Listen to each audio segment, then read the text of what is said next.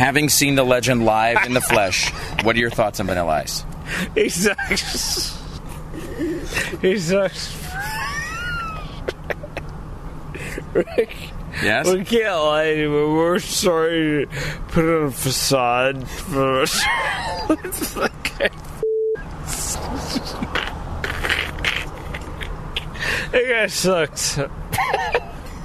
but my real beliefs, that guy sucks.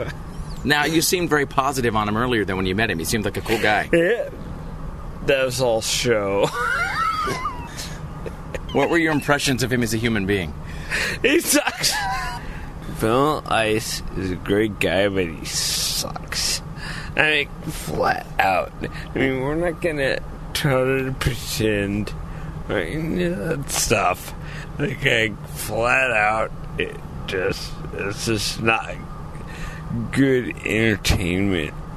That's not entertaining at all. What could he have done to be more entertaining? Quit forever. What was your vibe on Vanilla Ice as a person? Go away. I'm sorry.